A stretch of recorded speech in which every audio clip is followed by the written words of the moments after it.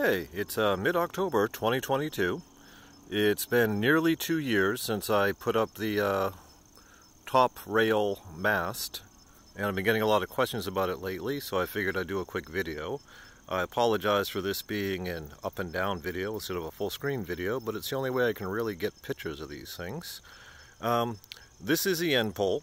Um, going out to work on the garden a bit today. I was going to till it, make it a bit bigger, and I figured I might as well kill some time by doing a quick video here. Um, the end mast is basically one piece of top rail and one full piece of one and a quarter PVC. You can see it's got some good flex on it there, um, which is fine. It's been that way for two years almost. And we got paracord running up to an I-ring, which then we get into things that you just plain can't see. Um, basically connected off to the end of the, uh, the dipole. Let's see if I can go this way here. Actually, I'm just going to walk you this way, and I apologize because I'm probably not going to take the time to edit this. So you'll have to deal with me walking for a second.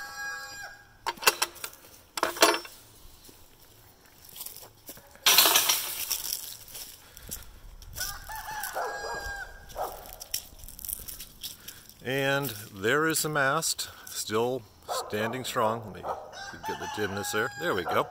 All right, so there's the mast. It is still doing fine. Balance still up there.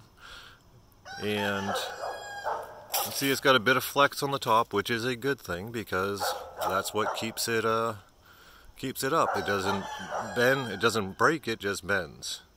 Apologize, we got some dog and chicken activity going on behind me here. And just want to get a bit closer because I had some questions about the what type of pipe I used to mount this into. And I also had some questions regarding isn't the pipe just going to rot out. Um, in the original video, um, if you can see that screw down there, um, I didn't mention that, but obviously people don't watch the entire video. So the actual mast is not going all the way down to the ground.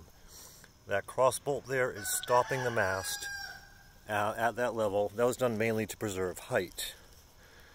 Um, as far as what size this pipe is, I'm assuming it's a one and a half.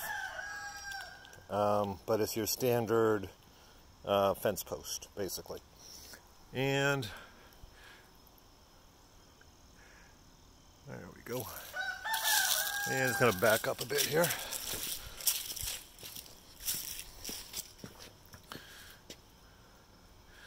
So it is still holding on strong. And as far as the other end, I never actually got around to putting in another end pole because I managed to just tie it off and pardon me walking downstairs and filming at the same time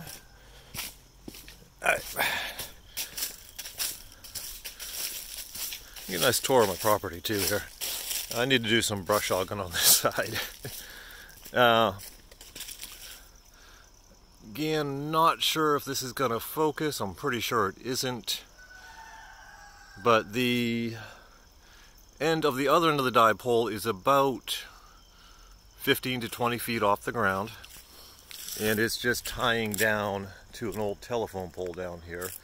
Again, I'm not sure why I'm showing you this because you can't see anything. But the way it is connected,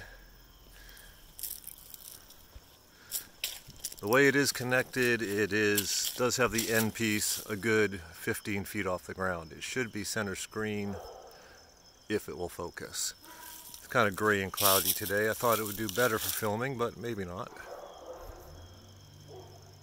And again, the mast is still strong. These uh, dipole wires, they seem to act sort of as guidelines or at least counteracting each other. And you may be able to see the feed line as it drops in trying to adjust brightness. There it goes. I can see it a little bit. So but yeah it's still working fine after two years. Um, hasn't fallen over hasn't even really flexed that much. Um, it's doing good. So that's all I got for you. I'm gonna let you go and uh, stop postponing uh, rototill in the garden. Y'all have a good one.